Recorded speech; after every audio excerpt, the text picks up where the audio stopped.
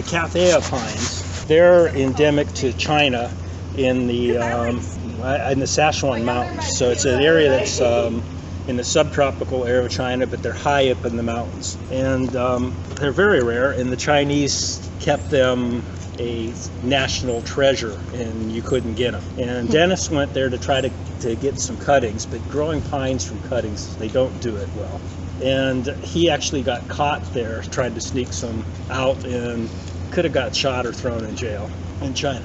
So the story on this, and this comes from Dennis, this is a good one, is that he had a Chinese botanist come here visiting, and Dennis spent a lot of time taking him all through Humboldt County and showing him all the plants and you know giving him the total tour of the place, which Dennis could do quite well.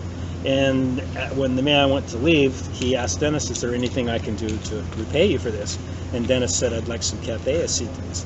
Well, the man turned white because you know, he, he can't smuggle a national treasure out of China. And about a couple weeks or a month later, I don't know exactly the time frame, I just started working here, and an envelope anonymously arrived in the botany biology department that contained these seeds. And so we've grown these since 1999 as seeds. This is the worst soil on campus. I um, had these growing in pots out in the back, and they were languishing. They were look, not looking good. And when I was at Harvard, my wife uh, came and, and did this job.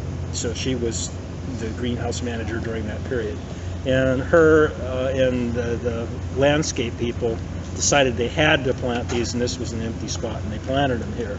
And I came back, and they were just looking bad, and I went, "Oh God, what can I do?" Well, they grow on limestone soils, and it's a, the, the mountains are limestone, but there's organic matter from years and years that's acidic. And so I started putting flaked oyster shells around them. Then I started um, uh, fertilizing them with calcium nitrate, and they they've caught on. Now Dennis would like to move these to this ugly side of Science D, where nothing's growing but a bunch of uh, ceanothus, and he has ten thousand dollars that he's willing to give the university to move these trees and a couple of other removes there. We've been trying to get permission to make it happen for four years now. Every year this gets larger. The harder it's going to be to move, the more expensive it's going to move, and the more risk that we have to the plant. But nobody in the country, not even the Royal Botanic Garden in Edinburgh, can do this.